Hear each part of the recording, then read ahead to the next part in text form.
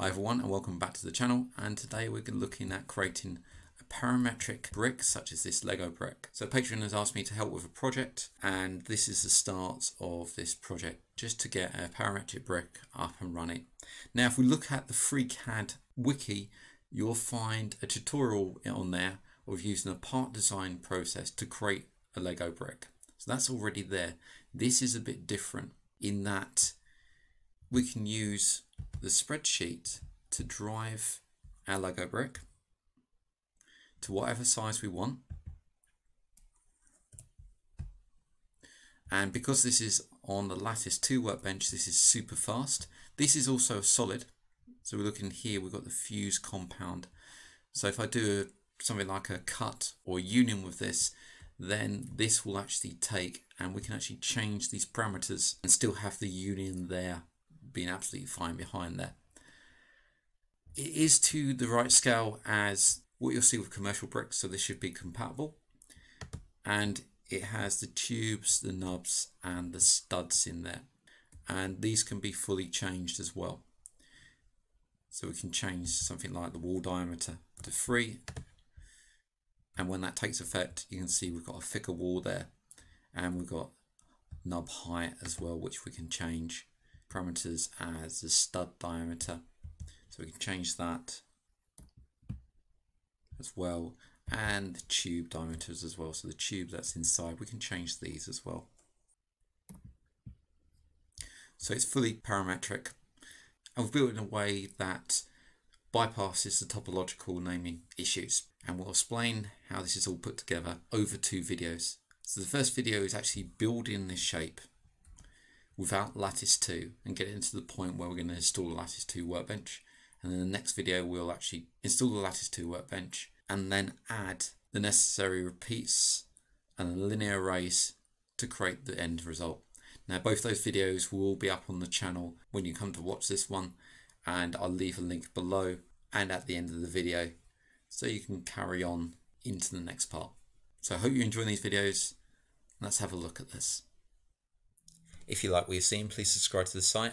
I also have a Ko-Fi or a Ko-fi site that you can donate to if you so desire, and that's at ko-fi.com forward slash MANG0. I also run a Patreon where you can subscribe and get extra content, and that's at www.patreon.com forward slash mango jelly solutions.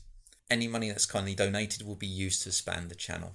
So before we go ahead, let's look at the technical drawing I've put together for the universal brick or the Lego brick. If you look down at the spreadsheet, which I've included, you can see a number of variables here. We've got units of length, width and height. So when I say four, I'm taking it on the four studs. So if it's a four by two, it's four studs by two. The height units are to do with the vertical height here. And if we look down, we've got the horizontal spacing and vertical spacing. Now you can see the horizontal spacing here is 8. So between the centers of those studs. The vertical spacing is going this way. So this vertical spacing here. So 3 millimeters will be the shortest block we can create. And from those calculations, we get our length, width and height. So these here are timesed by these variables. So the length times the horizontal spacing will give us our length here, the same with the width. But you'll notice that you'll see some length adjustment here. And these are taken into account with these as well. Now the reason why the length adjustment is there is because we need these bricks to actually be placed together. If we didn't have the length adjustment, then when we come to place these in an assembly or on a board, with the nubs there, they won't actually fit properly. So that's a small length adjustment just to take off a little amount to allow them to fit correctly. Let's start by getting the basic length, width and height into our model. Now this is where we come down to the workflows. If we look at the FreeCAD wiki, you'll notice that they already have a Lego brick workflow there.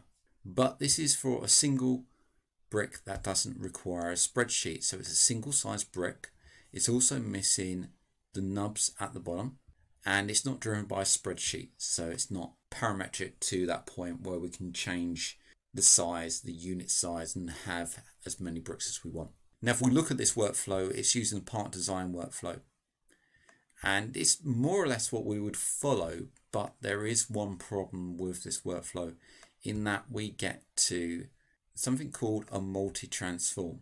Now, what the multi-transform allows you to do is transform, say, if we had this stud here as a single stud, and we transform this way by four, and then take that four and transform along the vertical. So we're going horizontal and then along the vertical to make this section here. So it's basically two linear patterns. We will have a problem with that because when we come to create our single block with just one tube in, the two by two block, we can't have a linear transform of zero in the part design. It just doesn't make sense. There's no point in doing it. Therefore, we have to find another type of workflow to follow. Also, linear transforms and arraying operations in the part design at the time of speaking are not as fast as, say, the draft array. It's because the draft array has link array elements that are much more optimized for this workflow. And you'll notice when we start using a spreadsheet, say with the part workbench workflow, that will get a slowdown when we start increasing those arrays. I've opted into using a part workflow with Lattice 2 Workbench. Now Lattice 2 allows you to create repeating patterns with ease and is much more optimized so we can repeat those at speed. So going back to our technical drawing, we're going to first start getting in the values into our spreadsheet, just the ones that we need to create our first part of our model. So let's come over to FreeCAD and create a new document and I've got the axis cross already visible. If you can't see it, come out to view and toggle axis cross. And I'm going to enter the sketcher. And we're going to make our first sketch. We can create a new sketch along the XY plane. And we're going to place in a rectangle. I can use the centered rectangle and place this in and take this point, the center point, and the center point of our scene. Axis cross is getting in the way there, but you can see that's been highlighted in green. That center point there. And we'll make that coincident to that center point. I'm going to place some height and width in here now. I'm going to click on this one, place a width. At the moment, you can see it's 162. Let's look back at our technical drawing we're just going to get the basic length and width in there, just get ourselves into the correct scale for our project. So we've got 31.8 and 15.8. For the time being, I'm just going to put 31 in here and a height of 15. We're going to fill this in from the spreadsheet in a moment. Now we've got ourselves zoomed at the correct scale so we won't have any surprises when we start adding this spreadsheet and laying down our first sketch. It's nice to get ourselves centered and understand the dimensions of the project just with one of the sketches before we start. So the first sketch is down. I'm going to come over to the spreadsheet workbench and I'm going to create a new spreadsheet using the create spreadsheet icon or spreadsheet create spreadsheet. If you haven't used spreadsheets before, they're very simple to use. We've got our rows and cells and we've got this one here which is very important. This is the aliasing so we can alias up our fields and reference them in our sketch. Let's start by getting some labels in here so we understand what these values are. So the first one I'm going to put in here is the units. So we've got length unit or units height units and a width units. We also got the horizontal spacing and the vertical spacing. We can pull these columns out so we can see these labels here. From these values that are going to be placed in here, we can then derive the length, width and height. So I'm going to use this column and place in here length, height, and width.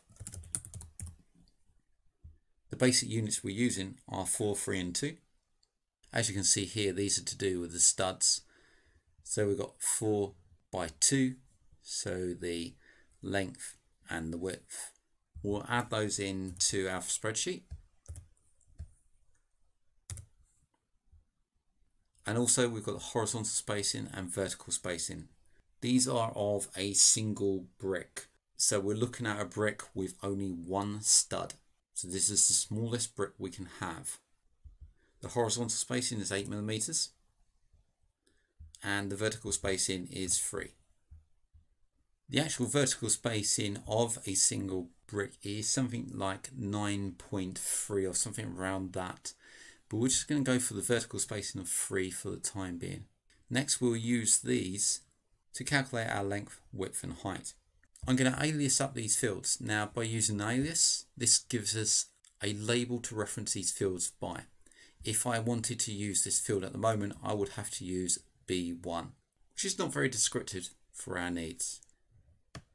I'm going to use the labels this side. I'm going to copy them, I'm going to click on the value, come up to alias, paste the value in, so length units, you can type it in there if you want and hit enter. Now when we move off, you can see that's highlighted in yellow. If I click on that, you can see we've got the AS in there. Let's do it for the rest.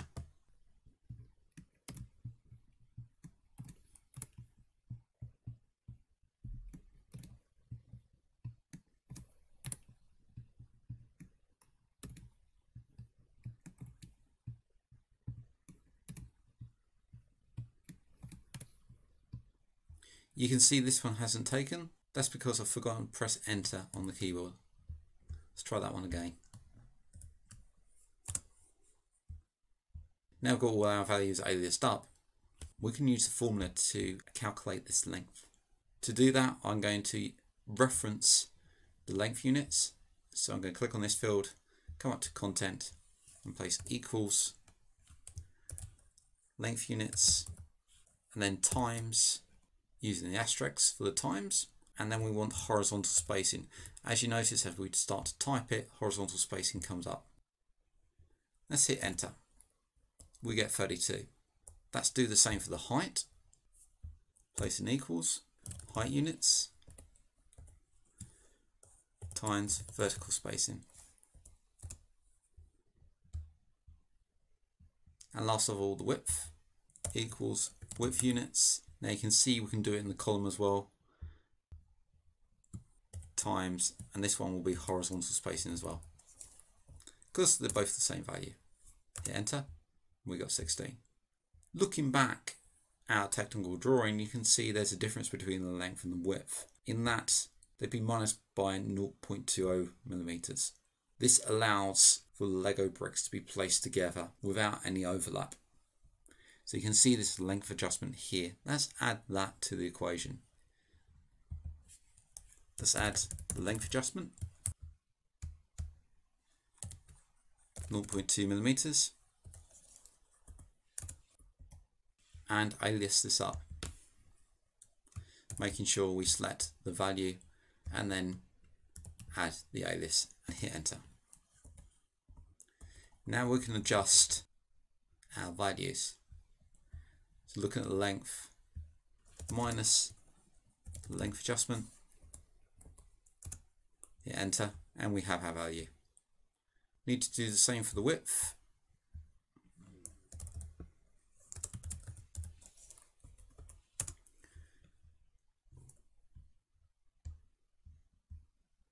You can see we've got a problem there and that's because we've added a V on the end. Hit enter and there we go. So when it highlights in red, we've got an error in the cell and we need to look back, probably made a typo. That can be easily rectified there. The height doesn't need adjustment. That's fine, left at 9. So we've got our base dimensions already in here. I'm going to save this and call it parametric brick we have our base dimensions. Now let's start modeling. So we're going to come over to the FreeCAD document. I've already got this first sketch in here. I'm going to double click it. And I'm going to add those parameters to this sketch. Our length, double click that, using the little formula button on the end to add an expression in the formula editor. If I start typing spreadsheet with a capital S, you'll see the spreadsheet come up. Then I can start typing the length, LE, and we've got our length adjustments and length units in there. We have still to add the actual length. So you can see that won't be visible until we alias this up. We could use the field, which is D1, and we get a 31.8. That's one option. If I hit OK, you can see it's gone orange. That means it's referenced to an external source. Let's close that and alias up those spreadsheets. So the length here, list this to length, the height, make sure we select the value, and this one is the width. These will now be available in our sketch. So going back to our sketch and changing our formula, deleting D1 and typing in length, you'll see it here. And this one as spreadsheet dot width.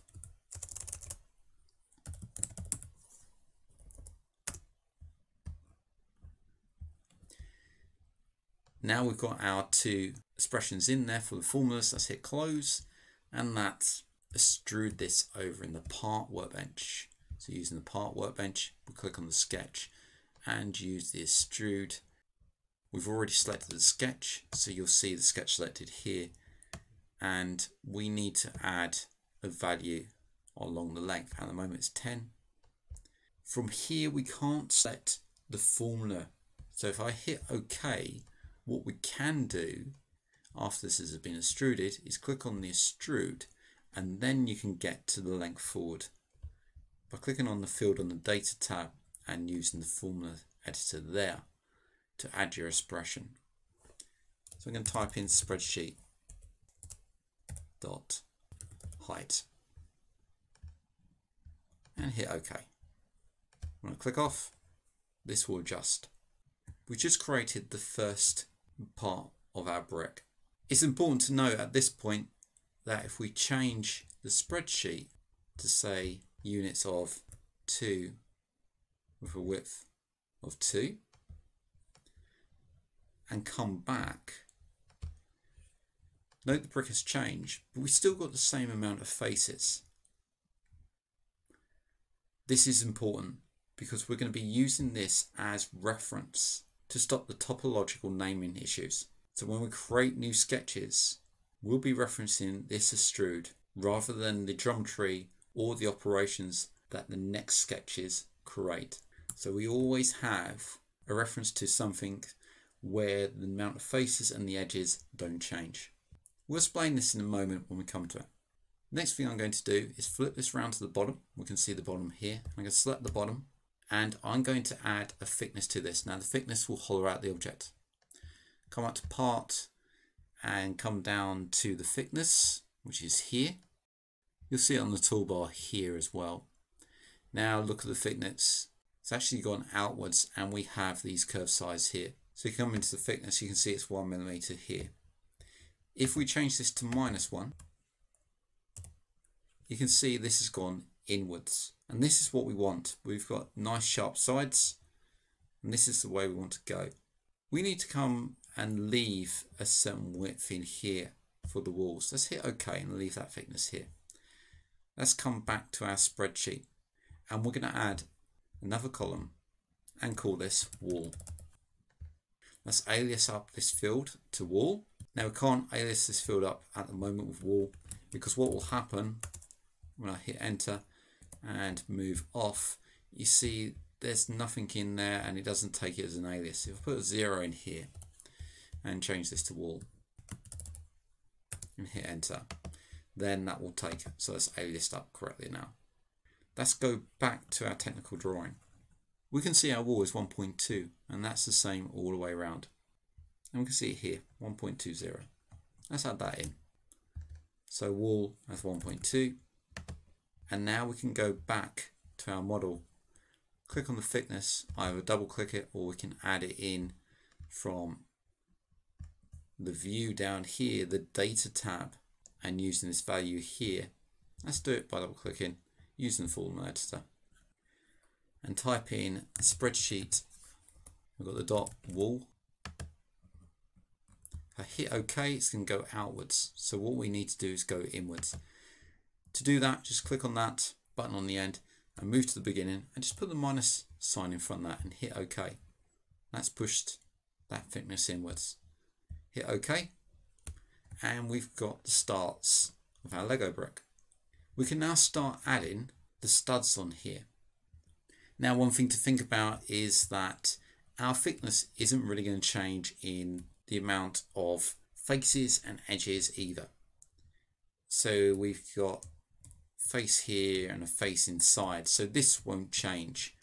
Any actions after will have a change there. So we can use that top face with no problems at all because we change the size in the spreadsheet we're going to get the same amount of edges and faces as we've got at the moment no matter what size it is so I'm going to click that top face there of that thickness let's come over to the sketcher and we'll create a sketch upon there so make sure that's selected, that top face. New sketch is going to be mapped flat face to that top. Hit OK. This is where the problem can start if we have changing faces because I'm going to reference this point here by pulling in the geometry using the external geometry tool also available from Sketch. Sketch geometries, external geometry if you don't have it in your toolbar and this will allow me to pull in that vertex, this one here. If you pull in the line, it doesn't matter. We just need one vertex to reference everything against. I'm going to create one single stud on there using the circle, and we create a circle. Let's come in. And with that circle, we're going to set it some distance away from here. And that will be described in our technical drawing. If we look down, this is described as the corner gap. So 3.9 is the corner gap. We also got the stud diameter here. So this is all to do with that stud. Let's come back to our spreadsheet. Hit close on our sketch. Come over to the spreadsheet. Let's start adding those values. So in here, I may want to call this something a bit different. So stud placement.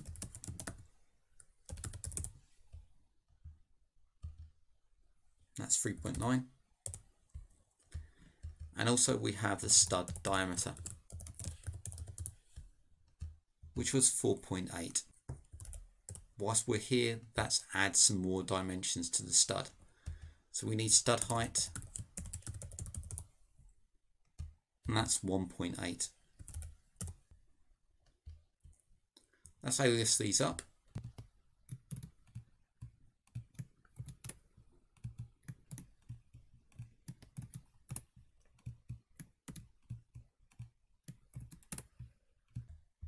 Now these are all in our spreadsheet. Let's add them to our model. Let's come back over and come back into the sketch. Let's first add the placement using these two points, vertical constraint and spreadsheet stud placement. We'll do the same for the horizontal constraint, this point and this point.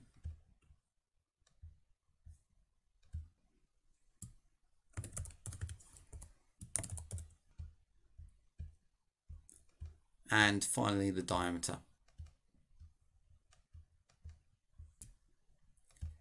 Using the formula editor, spreadsheet,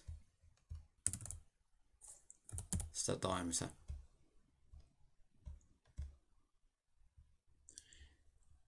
We've got our stud in there, or the sketch of our stud, and if we look at the top, bring this around